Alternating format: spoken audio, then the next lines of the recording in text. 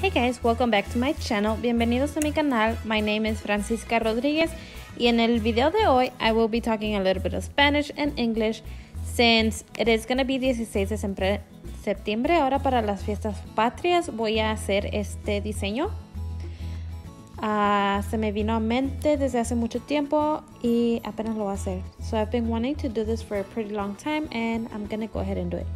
As you guys can see right here, I have already prepped my tips and I'm gonna go ahead and continue to add my base coat. Como pueden ver, le estoy agregando mi, mi base que es clara y lo voy a curar por un minuto. Curing for one minute.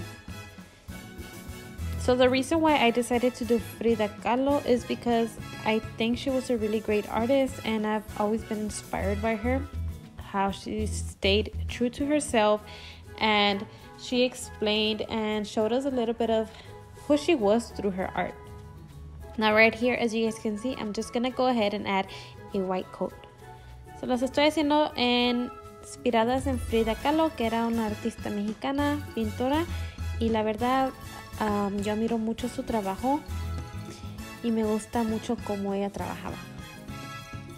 Ah, como pueden ver, después de que curé las uñas por un minuto, Estoy aquí agregándole la primera capa que sería el color blanco. Las de orillas están blancos porque todavía no estaba muy segura de lo que quería añadir a esas, pero como este ya sabía lo que quería poner, fui y le puse el color blanco. Después de que lo cure, lo voy a hacer por un minuto. Lo voy a sacar y ponerle una segunda capa. Ya cuando termine con eso voy a, a seguir con mi diseño. So yeah, after I did cured it, I added another base coat to it. Sorry, another coat of white polish. And these are the colors that I'm going to be using. Son los colores que voy a usar para decorarla um, y tratar de hacer su piel. Primero, como pueden ver, estoy intentando de hacer como un sketch. trying to do like a little sketch over. Um, it's not going to be perfect, but I'm I'm just using it as a guide. So nomás me va a servir como un guía. Discúlpeme si estoy um, para atrás y para enfrente con mi inglés, um, pero estoy tratando, no sé um, si hacerlos en inglés, español. Por mayoría es la primera vez que intento hacer un video hablando bastante español.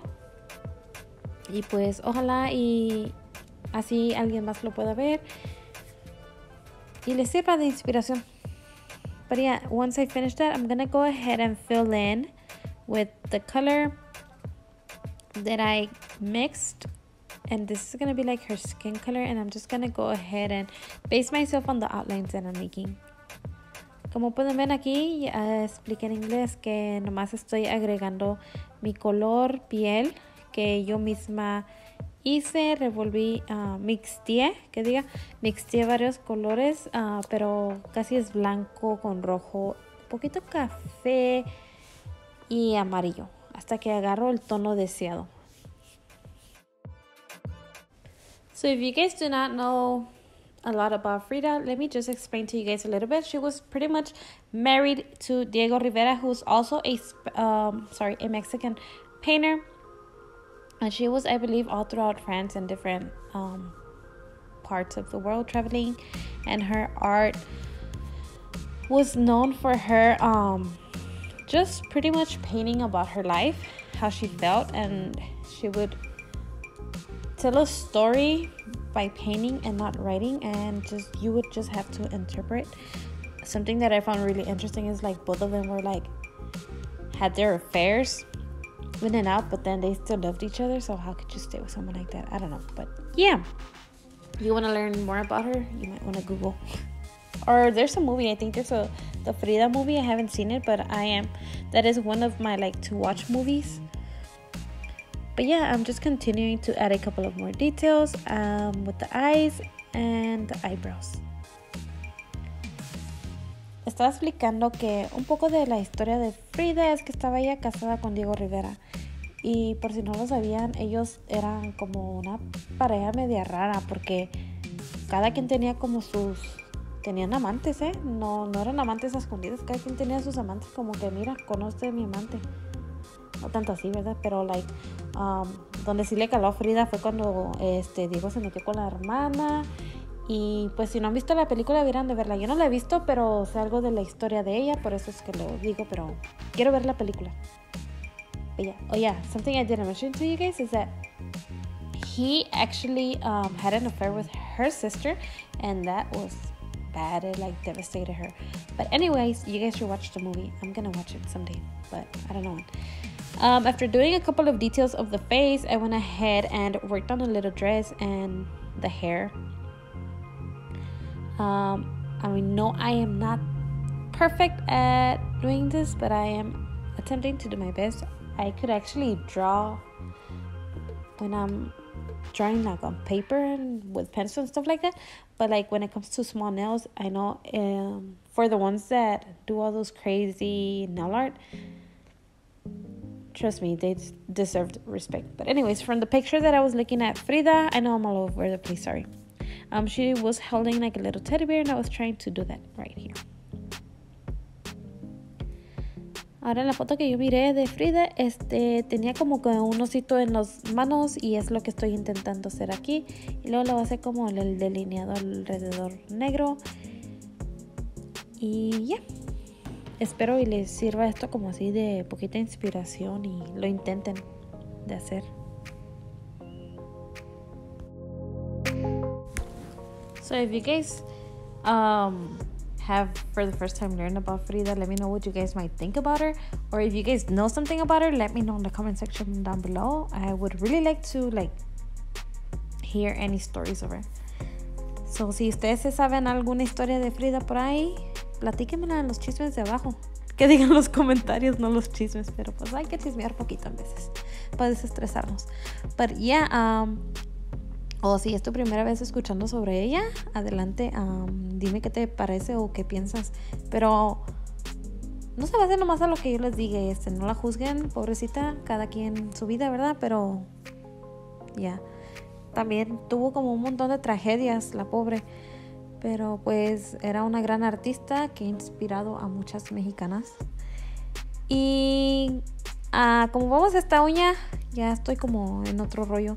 Pero aquí en esta uña vamos a poner ah, como un diseño mexicano. Y a lo que miran estoy usando un palillo. Por lo general a mí me gusta utilizar mucho los panillos. Panillos. Palillos porque se me figura que es como, como un lápiz. Y ya lo puedo controlar un poquito más que la brocha. Y como la punta está como así bien finita, pues también me funciona mucho para los diseños. Y estaba mirando yo como una imagen de diseños mexicanos y este, no sé si se darán cuenta, pero es como la figura de un pajarito y voy agregando así diferentes y varios colores que tiene que ser como muy colorful, ¿verdad? Para llamar la atención y que tenga como ese, eso que diga, ay, México, like uñas mexicanas o algo así. Y como siempre para las uñas mexicanas, como del 16 de septiembre casi toda la gente utiliza los colores regulares que son el blanco, blanco, rojo y verde. Yo quise hacer algo un poquito diferente para este set de uñas. So I was saying that for this um this design, if you guys can tell, I am using a lot of different colorful colorful a lot of different colors just to give it that Mexican vibrant colorful look to the nails. And if you guys could tell, it is kind of like a bird design. And I'm gonna go ahead and do those designs to both of the nails that are like next to Frida, which would be the ring finger and the pointer finger. Yeah, and they're just gonna be um, facing each other. I will also be adding a couple of flowers. But yeah, um, let me know what you guys think. Um, if you guys have any advice on future nails that I could do, go ahead and let me know on the section, on the comment section down below. Sorry, I'm still getting used to all this YouTube talk things. But yeah. Before I forget, another thing that I want to say is that I do use, I don't know if you guys noticed, but um, I switch out between brushes and toothpicks because depending on what I want to do, uh, that has to do a lot with what I choose to use. But I like using toothpicks a lot because to me it feels like I'm using a pencil and since they're really thin and small like the point is really fine and fi- like really pointy I guess um, I like to work with them so yes I did started using toothpicks like a couple of months back when I started really trying to develop my skills for nails again oh not for nails so much but like for the nail art um, because I lost all of my brushes. I wasn't able to find them until like a couple of months after.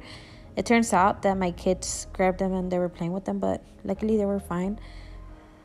Um, so when I wanted to do nail art, I would just um, work with a toothpick because I just really thought there was no point of me um, buying new brushes because I knew they were somewhere in the house. I just had to find them. And I like to challenge myself, and I'm really glad that I did that because now I am able to use toothpicks for a lot of things. But yeah, as you guys can see, I just kind of like put like a little drop and drag it out, and that creates those little flower designs. So the lesson of my little story was that if you really want to do something and want to start doing art or something, if you can find a way Okay, so just find a way and you'll be able to do it. Ahora les estaba explicando de cuando perdí las brochas, era porque mis niños me las perdieron y fue así que yo empecé a utilizar los palillos y se me han hecho como un gran instrumento para mí para hacer mis uñas porque los uso para varias cosas y este y sí, no las encontré como por dos meses y entonces este, yo empecé a, a utilizar mis palillos y me gusta mucho cómo me sirven. Ahora como pueden ver estoy haciendo las flores, hago como un puntito y, el jaloncito y se hacen esas flores tan bonitas como diseño mexicano. So, la lección de mi historia es que si tú quieres hacer algo, hazlo, encuentra la manera y lo vas a poder hacer. Si pones pretextos, pues nunca vas a hacer nada. Porque para pretextos, ah, pretextos hay millones. Pero espero y les haya gustado este video.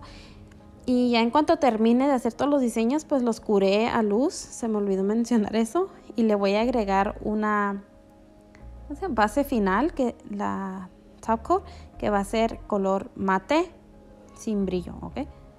Creo que sí se dice, pero sí, Espero les haya gustado mucho mi video y consideren suscribirse a mi canal. Si les gustan los videos en español me lo pueden decir y trataré de hacerlos más seguido. Now, when I am done, I am just going to go ahead and add the top coat. I did cure all of my gel polish in between for the design. I forgot to explain that. And yeah, I'm just adding my matte top coat. Hopefully you guys liked it and enjoyed it. Give this a try. Comment down below anything else that you guys want to see what you thought of Frida or anything of the nails. And this is what they came out like. I think they look amazing, beautiful. And don't forget, let your creativity take you places where you've never been. Yeah, thanks for watching y muchas gracias por mirar. Hasta la próxima.